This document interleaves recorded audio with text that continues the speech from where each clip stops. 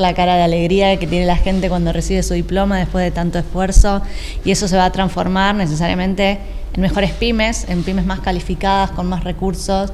que van a aportar a tener más producción local, regional, nacional y sobre todas las cosas van a lograr aportar mayor valor. Y este año vamos a trabajar, como decía Pablo, con un montón de herramientas, una batería muy, muy importante, siempre focalizada en esto, aumentar la producción, complejizarla y teniendo en cuenta todas las diversidades que,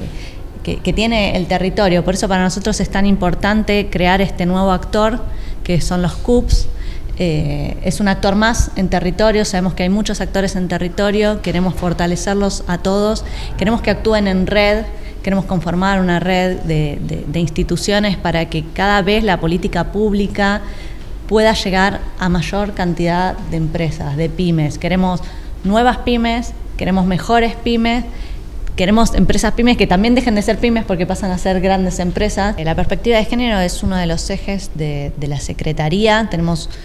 programas específicos que se enfocan en la disminución de estas eh, desigualdades, por ejemplo, el programa que mencionó recientemente Pablo Berkovich, que ayuda a eh, disminuir estas desigualdades, pero después todos los programas que tenemos en, en la Secretaría están atravesados por una perspectiva de género, ya sea